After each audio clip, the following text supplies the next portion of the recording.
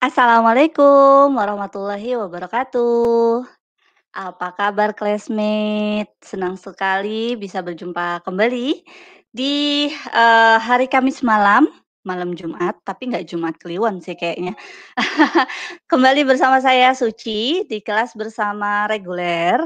Malam ini, eee, ini kelas yang buat saya itu menanti-nantikan. Nggak, eee, apa ya, kayaknya kok pengen cepet hari Kamis, pengen cepet ngelihat, eee, apa, kelas ini, kelas bersama ini. Sampai saya minta sama teman-teman di tim kelas bersama, aku aja deh yang jadi moderatornya. Kenapa ya? Ya karena malam ini itu kita mau bicara tentang sampah organik dan pengelolaannya, yaitu membuat komposter sendiri. Nah, ini saya ditemenin oleh ada apa, seorang tukang sampah. Wah, ini pokoknya seru banget deh, namanya aja udah tukang sampah. Kalau orang denger tukang sampah itu pasti entah apa yang ada di pikirannya, eee, entah jorok, eee, ya pastinya sampah gitu ya. Jorok, sampah, jijik. Tapi kalau buat saya ini menarik, karena kalau nggak ada tukang sampah, bisa bayangkan kan kemarin aja kita banjir kayak gimana, ya kan? Oke, kalau begitu kita undang aja ya narasumbernya. Halo, assalamualaikum. Waalaikumsalam. Selamat malam, Mbak Uci. Halo, malam Mas Fadel Ahmad. Ini Fadel Ahmad apa Ahmad Ahmad Pak Fadel sih? Aku suka kebalik-balik Kalau soalnya. or kalau orang sih kenalnya banyakan Fadel Ahmad, aka Fadel Ica, Ahmad. namanya banyak Heeh. deh. Iya, karena saya Iya. kenalnya Bang Icay, bukan Fadel Ahmad nih. Oh ini nama keren ya. Oke. Nah, Mhm. Mas Fadel Ahmad ini kan, eee, salah satu founder ya dulu, eee, seingat saya, founder dari, eee, Jakarta Green Monster ya. Terus kemudian yang sekarang Bukan founder, jadi volunteer. Volunteer, oh ya volunteer.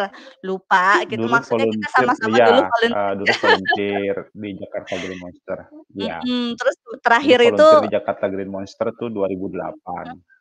Iya iya, aku juga Terus, bergabung di sekarang di ribu Transformasi Hijau. ribu oh, konservasi hijau. Nah, itu dia, kan kalau nggak salah, eee, terakhir itu ada Trashy ya. Trashy apa sih Trashy Iya. itu? Nah, bisa dijelaskan, bisa dikenalkan, silakan. Jadi, eee, TRASI atau Transformasi Hijau itu adalah komunitas relawan yang peduli terhadap, eee, lingkungan di Jakarta khususnya gitu ya. Nah, isinya nih anak-anak muda semua dari, banyak usia lah ya, bahkan ada yang profesional kayak gitu. Nah, Mhm. TRASI sendiri sih fokusnya di lahan basah, gitu. Sampai saat ini masih belum banyak perubahan, cuman memang karena lahan basah di Jakarta juga semakin sempit gitu ya dan berada posisi hilir, teman-teman berinisiatif, "Eh, gimana daripada kita nunggu lahan basah aja tercemar, kita naik ke wilayah atas." Misalnya kayak tadi, saya kemudian berfokus kepada ngurusin sampah nih. Nah, akhirnya supaya melakukan pencegahan jangan sampai sampahnya masuk ke lahan basah yang ada di Muara Angke, ya udah kita mulai Betul. kampanye pengelolaan sampah gitu. Itu sih. Iya, seru ya.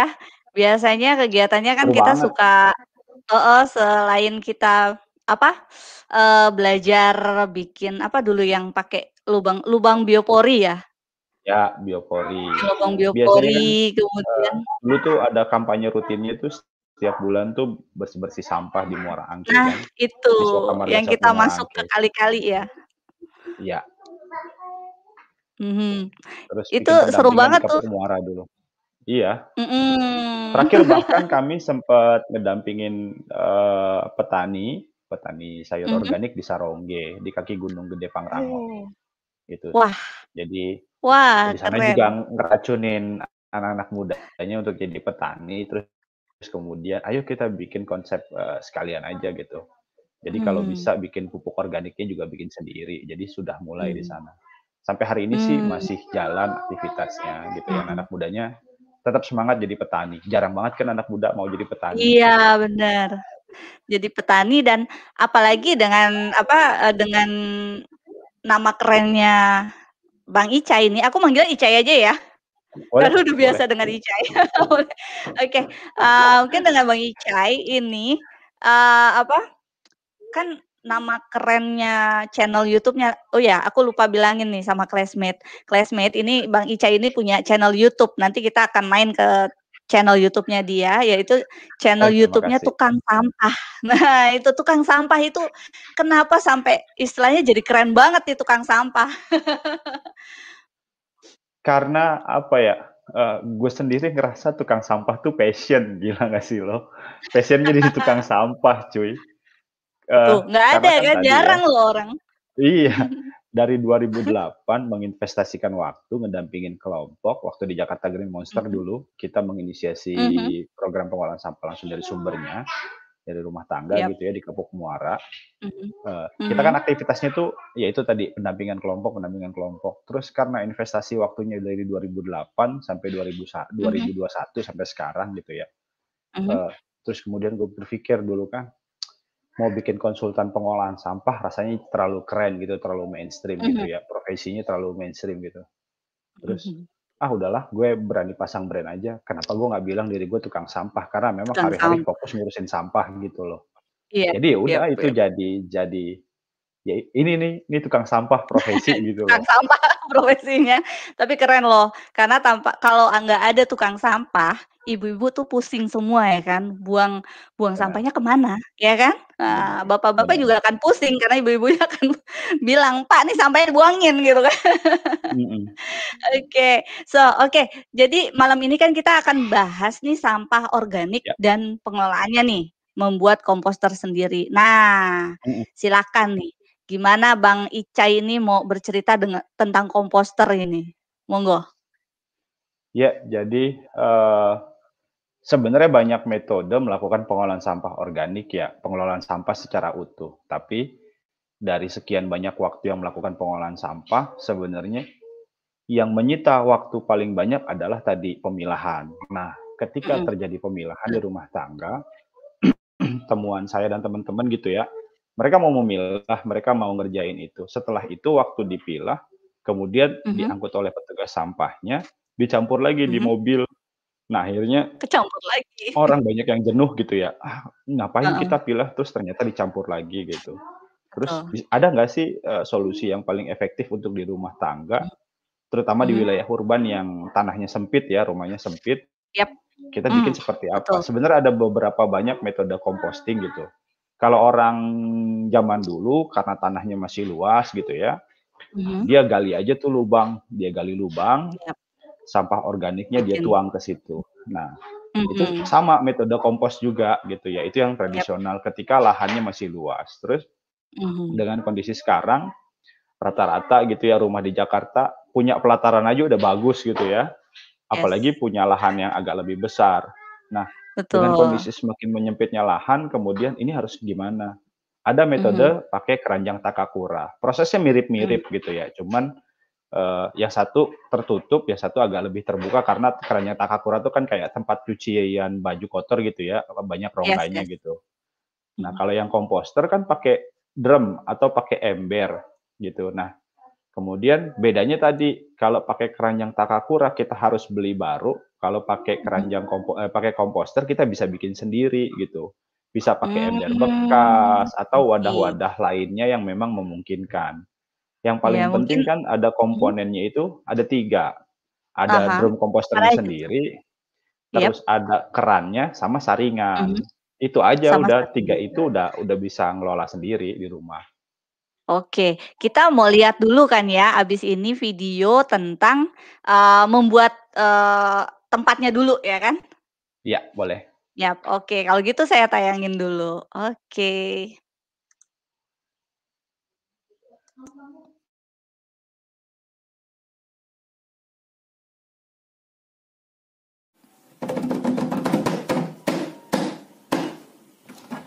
Halo teman-teman, ketemu lagi di channel Tukang Sampah.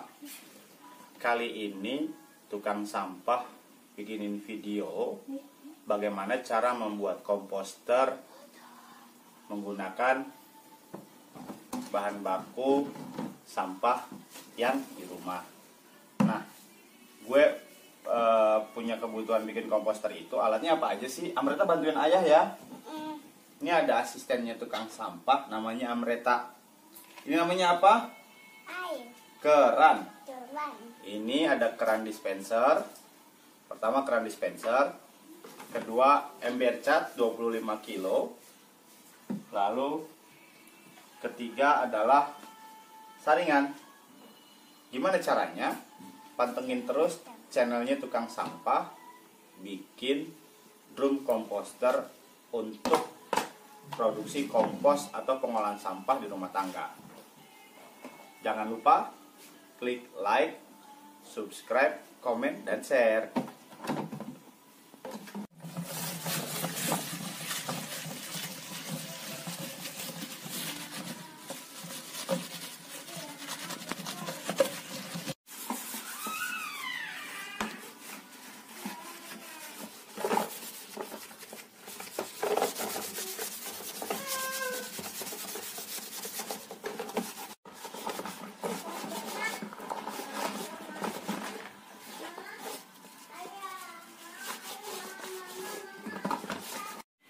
tadi kan bikin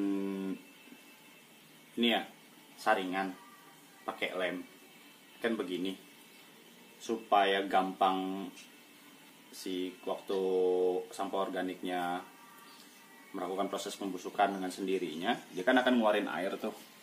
Nah ini kita bolongin cuy. Sesuka hati aja sih berapa banyak bolongan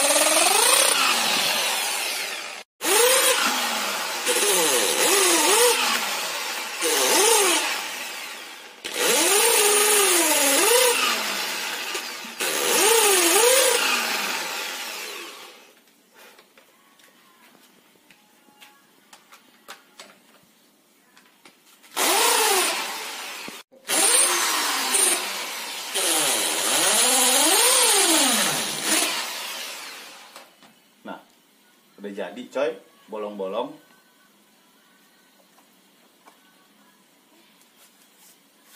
Ini untuk memastikan aja sih air turun ke bawah waktu proses pembusukan terjadi. Nah, airnya ini bisa dikumpulin jadi kompos cair. Ikutin lagi proses berikutnya. Oke. Udah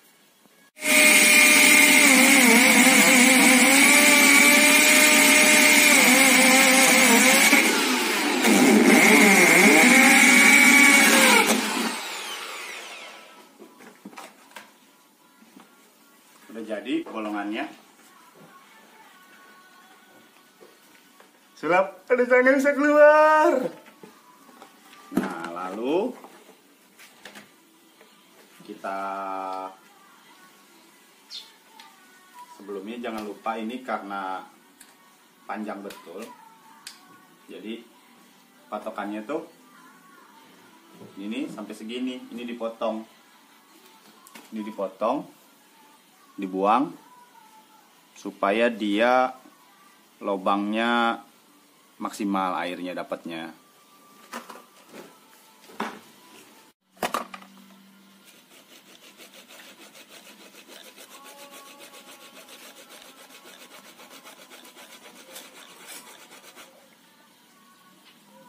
Nggak tajam.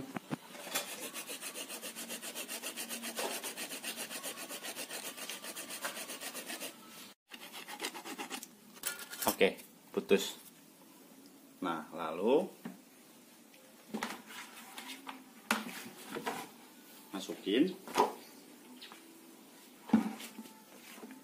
dia ada karet pengaman di depan biar nggak bocor. Karetnya satu lagi. Ini karet yang buat di luar ini karet buat yang di dalam. Dimasukin.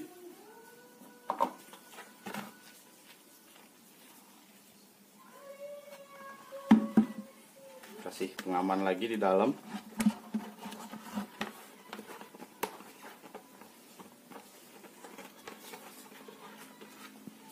lalu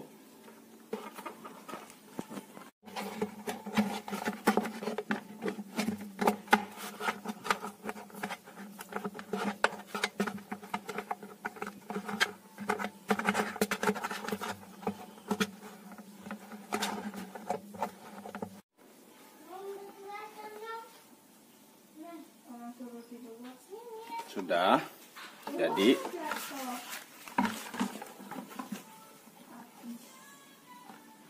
kasih tadi. Untuk kompos padat dan kompos cair. Lalu masukin ininya filternya. Terbalik.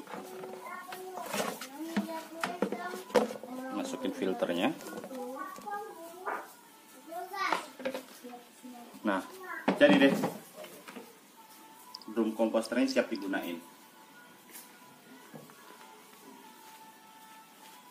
tinggal uh, nanti tunggu sesi berikutnya untuk bagaimana membuat komposnya melakukan pengolahan sampah organik dari rumah menjadi kompos. Oke? Jangan lupa klik like subscribe komen dan share supaya subscribernya channel tukang sampah makin banyak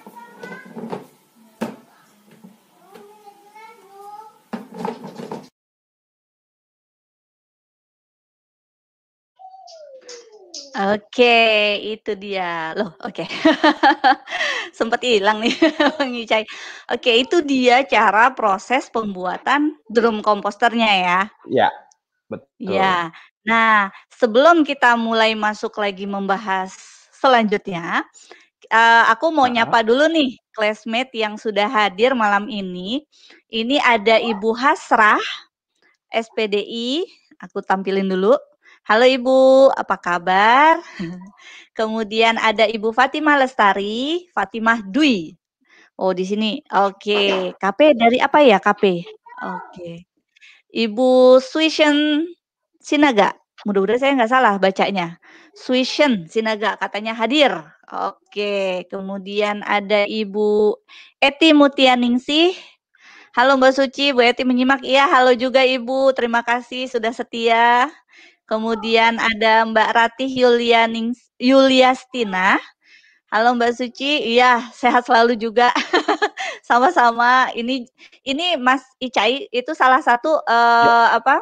Yang tadi aku sebutin ini salah satu yang apa yang setia setia untuk nontonin kelas bersama. Oh, ada juga Ibu Afni. Waduh, you got this. Oke. Okay. Nah, ini masih Cai, sebelum kita lanjut ya. nih ada pertanyaan sebetulnya nih. Ini hmm. Bu Eti itu menanyakan.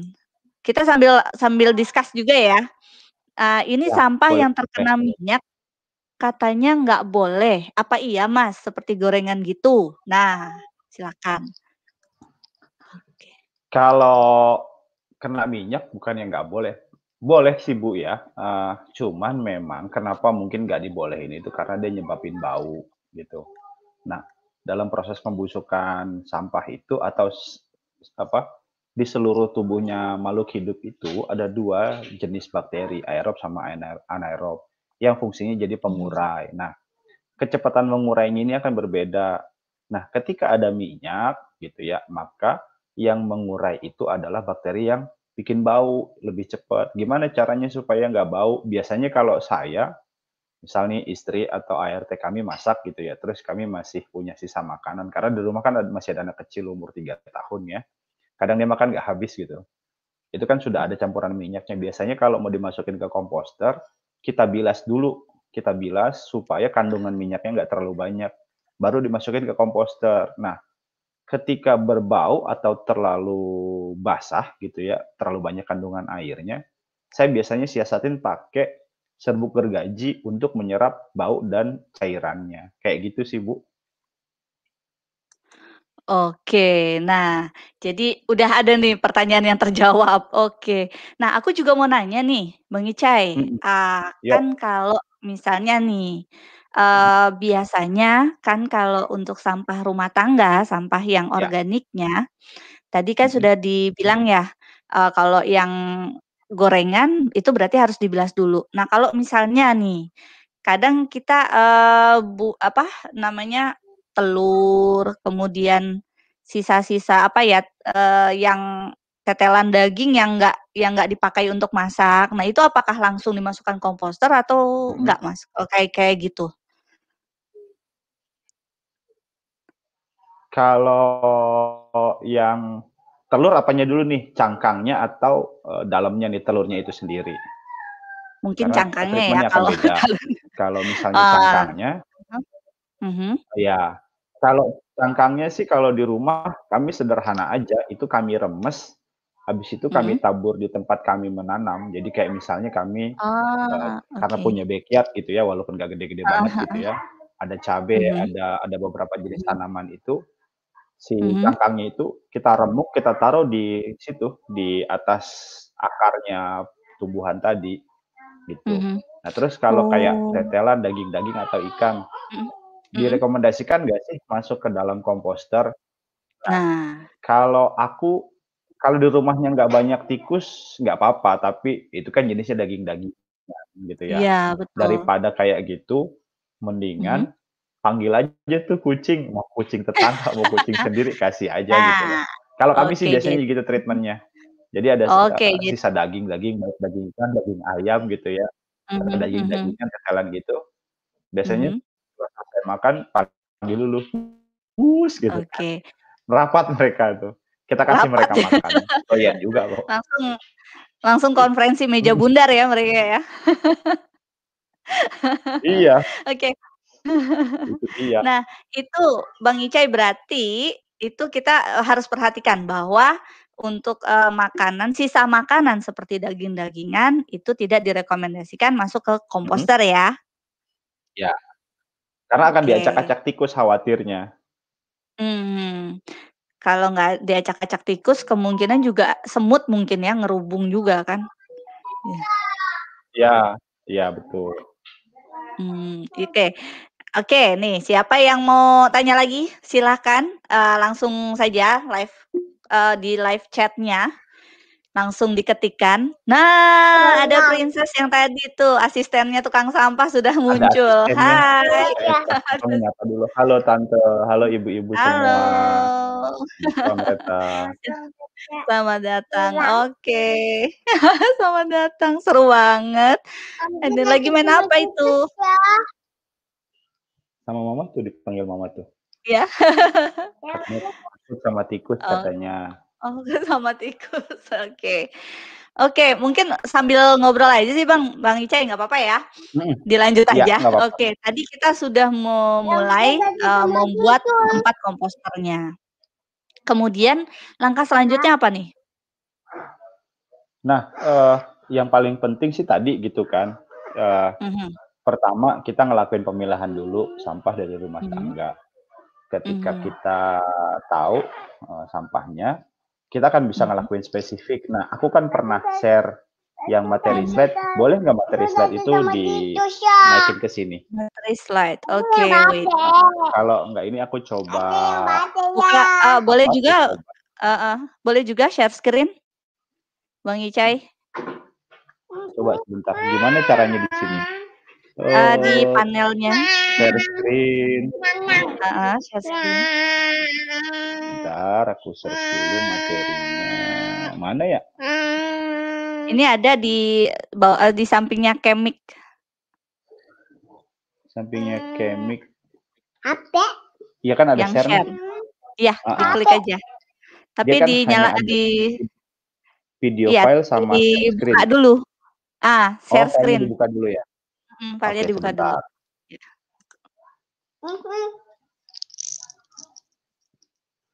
Bentar ya. Amrita, Oke. duduk dengan baik boleh. Nanti kalau kamu Foto apa sayang? Ayah ayah sedang Atau kalau kalau masih ini aku coba share screen, aku coba share screen ya. Ya, ini udah ketemu deh. Udah? Oke. Heeh.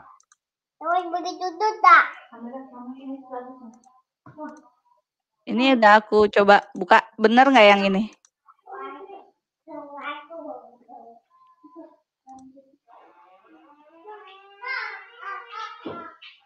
Ups, sorry. Kayaknya oh kok tadi hilang ya? Share screen-ku. Right, oke. Sudah?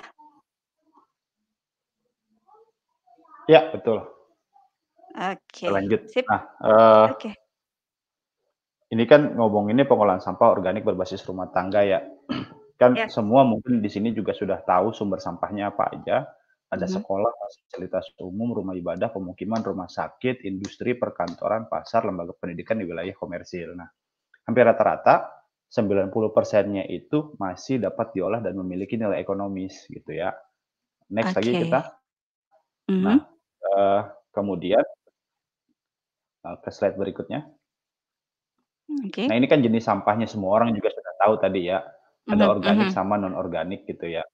Bahkan Yap. ada B3, lalu ada yang Ada padat dan B3. cair. Nah, biasanya Oke. yang padat itu yang masih sering dibuang adalah tercampur gitu ya. Nah, yang cair Yap. ini biasanya juga masih kita buang nih. Apa sih contohnya? Misalnya oli ya, terus Oli, sampah iya. bekas minyak jelantah itu kita buang gitu. Sementara itu kalau masuk ke dalam got atau ke aliran tanah, itu dia bisa jadi salah satu penyebab polutan cair gitu ya.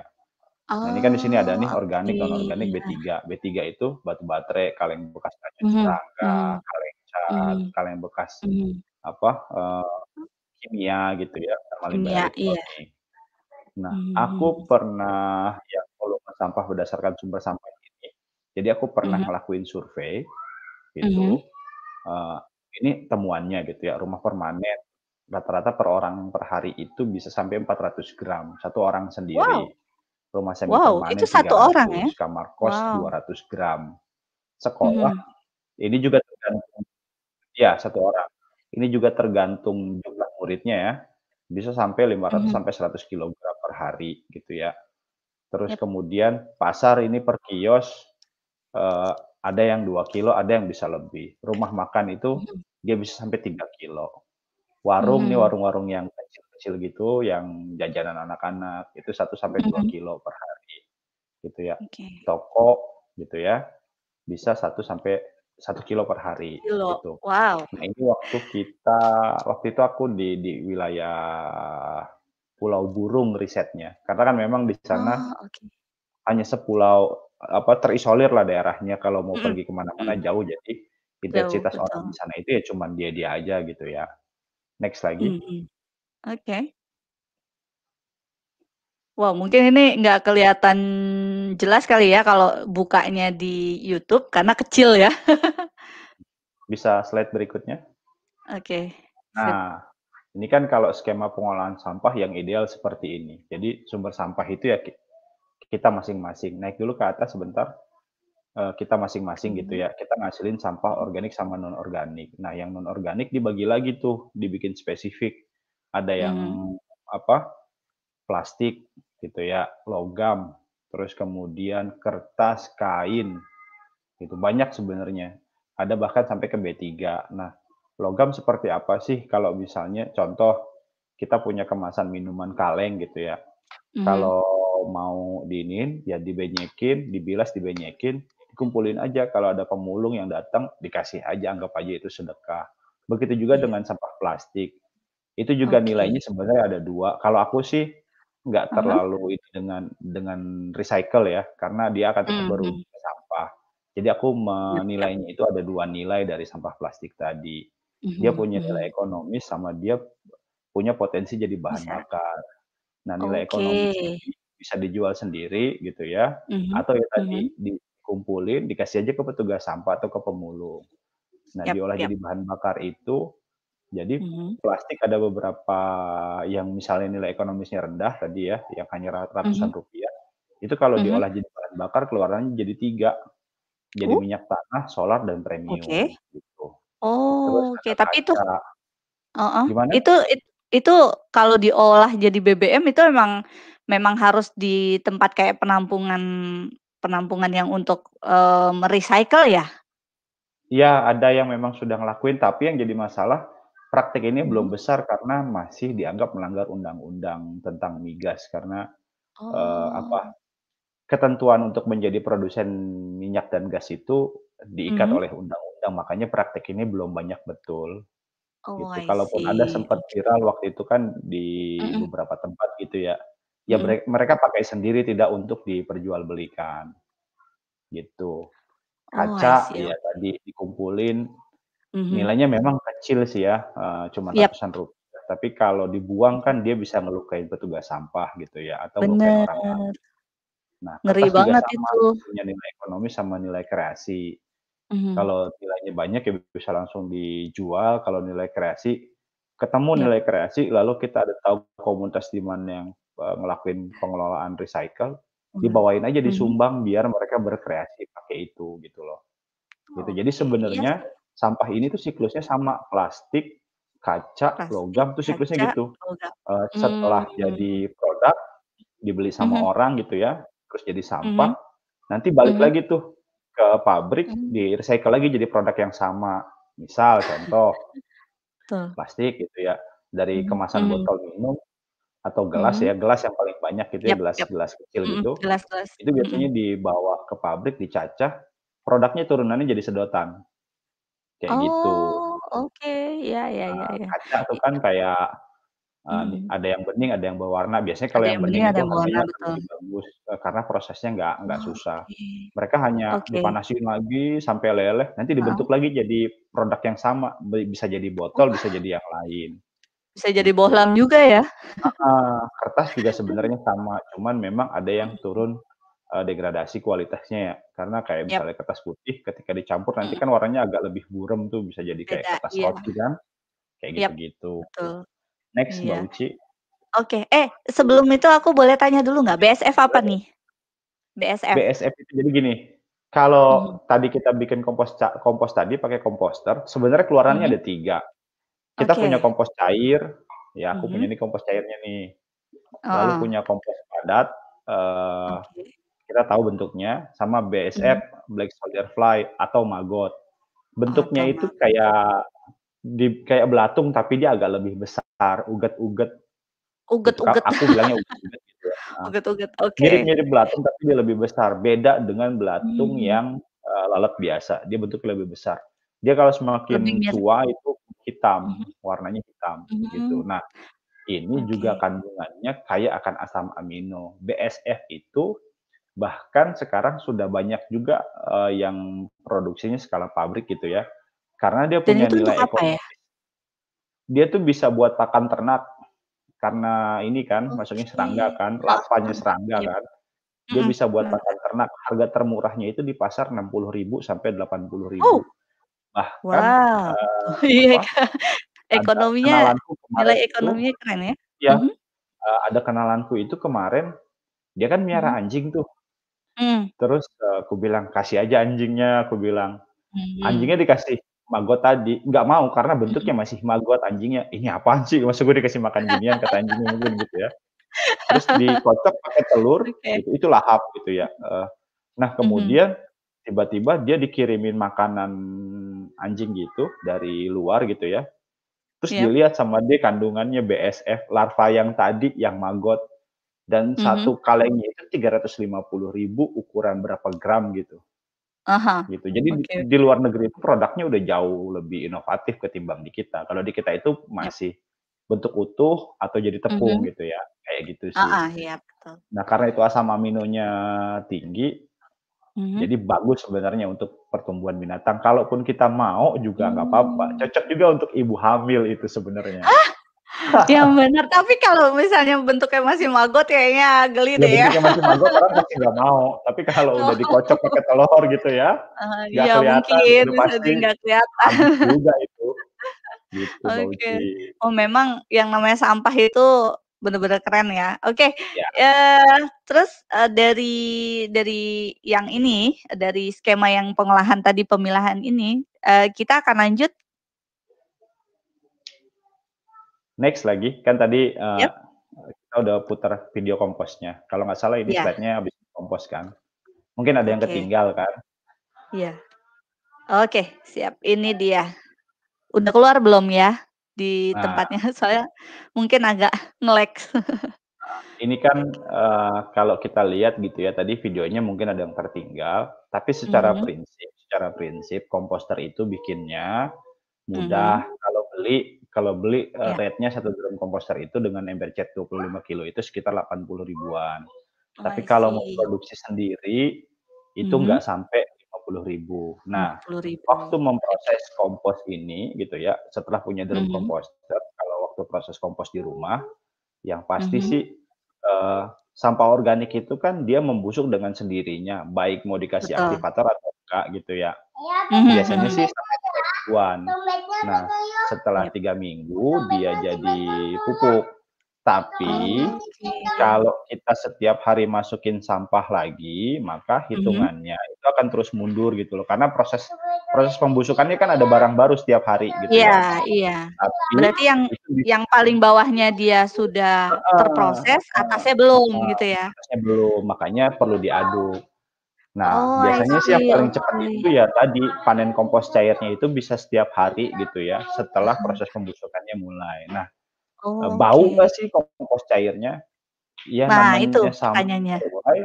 eee, baunya ini juga terpengaruh dari, eee, jenis sampah organik yang masuk. Jadi kalau Oke. banyak juga campuran buah gitu ya, misalnya kita makan Mhm. nih buah, ada beberapa jenis Mhm. buah dimasukin ke situ, itu aromanya deket-deket sama buah gitu ya. Oke. Kalau hanya sisa-sisa bekas makanan, ya baunya agak asam-asam sedikit.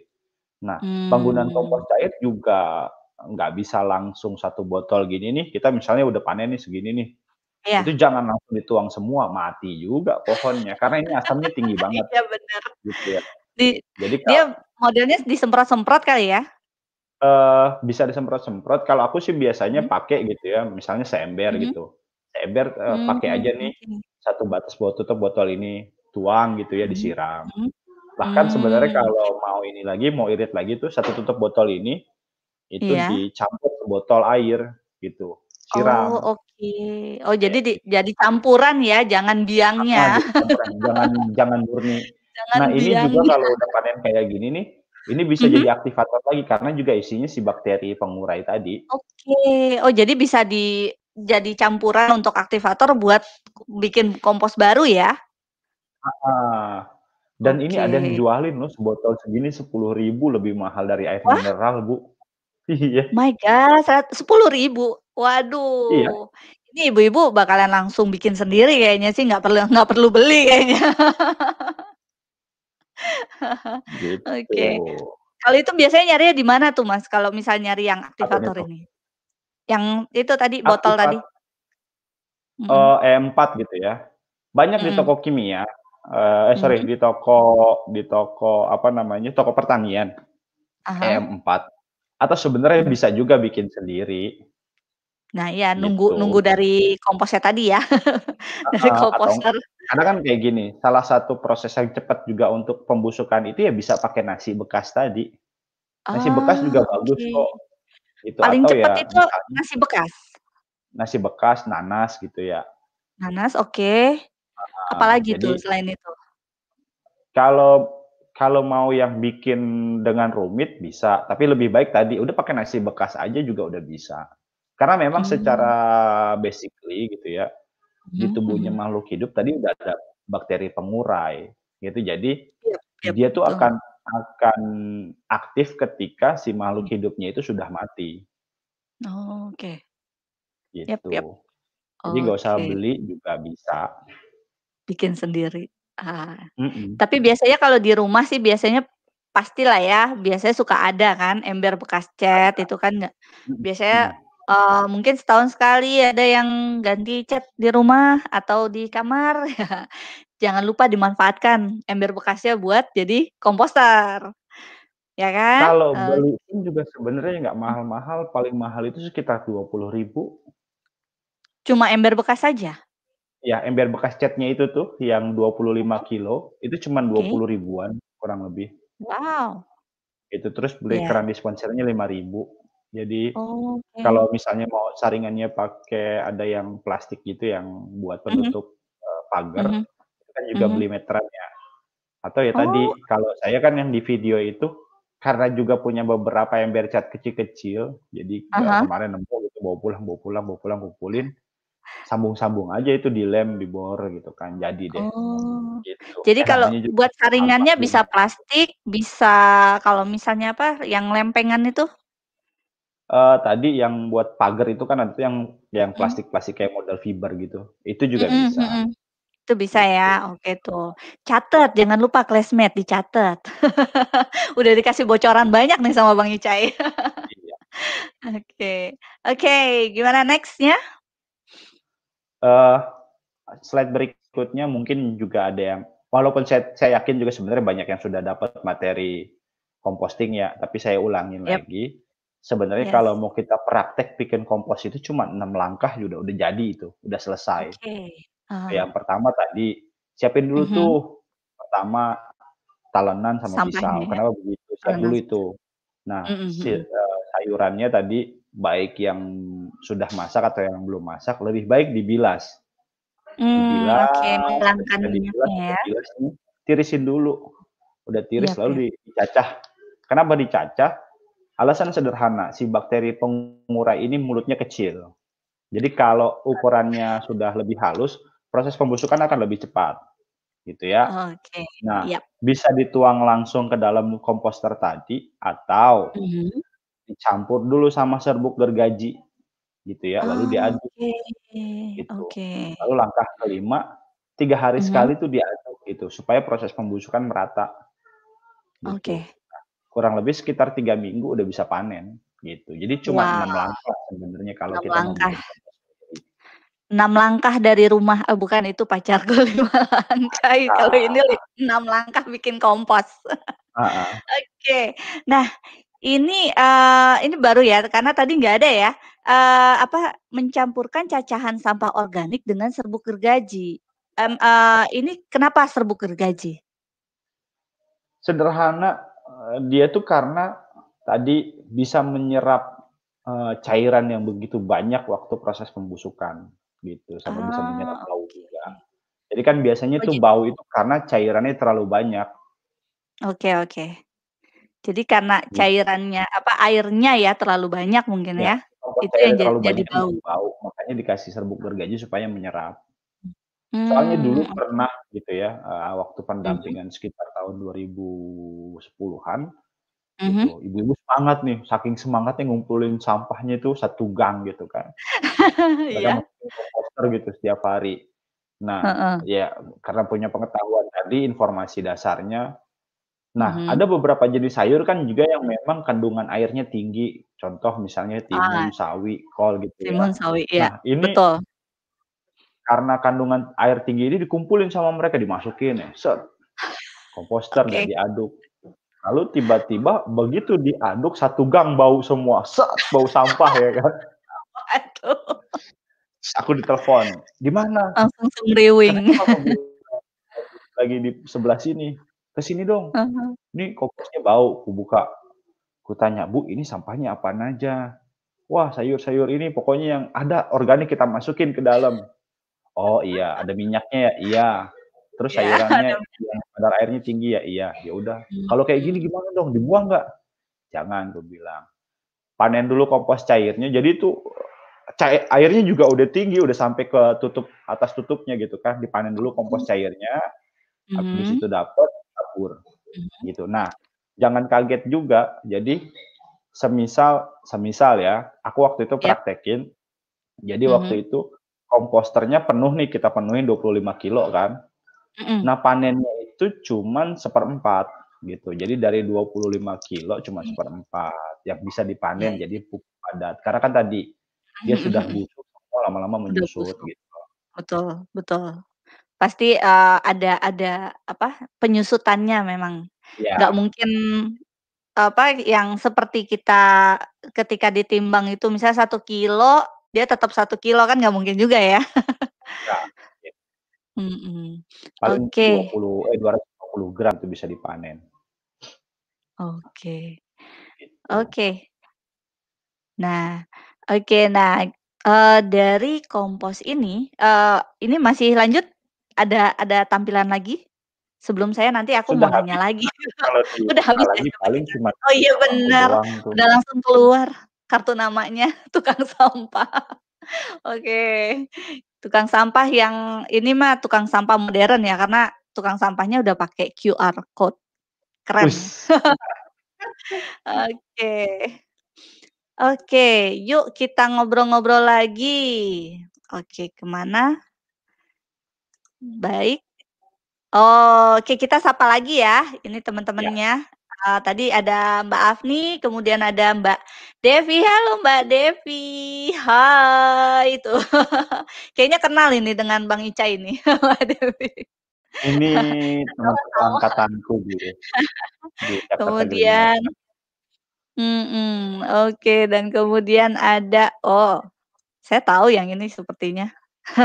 Juga, ada yang menyimak, Mbak Ferry, halo. Oke, ada Mas Haris As-Sayaf. Oke, you got this, yes, we got it. Wah, nah ini nih salah satu yang selalu nggak pernah terlewatkan, nggak pernah melewatkan kelas-kelas bersama Pak Solikil Abadi. Apa kabar Pak Solikil? Sehat-sehat semua ya? Oke, ini salam dari Jombang. Nah ini bisa loh Mas, eee, maksud aku dari pengolahan sampah komposter eee, membuat komposter ini, ini bisa jadi apa, kalau menurutku ya, ini bisa jadi project base buat, eee, apa, siswa yang bisa dikerjakan di rumah, ya kan, ketika Ya. masa pandemi begini, gitu kan. Betul. Nah, mudah-mudahan sih pandeminya cepet cepet hilang. Oke, nah, jadi ini baru, eee, apa, satu sesi kita membahas, eee, membahas tentang cara membuat komposter, kemudian kita juga langkah-langkah membuat komposternya sendiri. Nah, tadi kan sudah dibilang ya, eee, 1 kita nggak boleh, eee, apa, ya yang minyak-minyaknya itu harus kita hilangkan dulu, kedua kita harus dibilas. perhatikan heeh, kedua kita harus perhatikan, eee, apa eee, untuk, eee, yang sampah organik yang mungkin kandungan airnya tinggi, itu harus Mhm. kita perhatikan juga. Nah, ini biasanya ibu-ibu yang tahu, karena kalau saya, eee, kalau di dapur mohon maaf, bukan wilayah saya. Kayaknya ini saya harus berguru dulu kalau ini wilayah dapur. Eee, tapi kalau misalnya nih, kan kadang-kadang nih ya, tadi aja tadi udah ada cerita tentang, eee, apa, eee, karena tidak diaduk jadi bau gitu kan. Atau, eee, dan yang dia apa, eee, tidak yang ada goreng-gorengannya itu tidak dibilas. Nah, sekarang aku mau nanya, kalau buah-buahan, itu yang dihindari apa? Untuk dibikin sih. Nggak ada? Nggak ada. Duren? Buah bibir jangan masuk yang pasti di Oh, situ. buah bibir. Kalau duren bagaimana? Kan itu semeriwing juga tuh. Eee, yang pasti begini, semisal contoh misalnya ya, kita punya cabe atau beberapa jenis buah, dimasukinnya itu dengan bijinya, gitu ya. Oke. Jangan kaget kalau besok udah tumbuh itu biji. Iya, Udah udah bener. daun 2, udah daun berapa gitu, udah gitu habis ditaruh nggak ditengok-tengok, tiba-tiba udah jadi bibit Pohon aja. cabe ya? Iya, so soalnya pernah juga ada yang kayak gitu, dia masukin semangat, habis makan pokoknya cabe, mas cabe busuknya dia masukin, pepaya dia Oke. masukin, habis itu dia tutup, dia nggak tengok-tengok. Besok begitu dibuka, ya begitu dibuka, itu udah cabenya itu udah udah adalah sekitar sejengkal ya kan, pepayanya juga ada Bener. berukuran sejengkal. Kutanya, "Bu, ini nggak dicek-cek?" "Enggak, ini kemarin gimana bisa numbuh cabe?" "Ya saya juga bingung, makanya saya mau nanya sama Mas Fadel," katanya kan. Toge gitu ya, "Ayo kita jangan-jangan lacak." toge juga itu ya? Iya makanya, "Ayo kita lacak, kemarin Heeh. pernah nggak masukin cabe busuk ke sini?" "Iya." "Terus pepaya, eee, kulitnya dibuang, bijinya dimasukin sini juga?" "Iya." "Saya kira busuk." "Enggak, itu hidup," kubilang. Kayak gitu sih.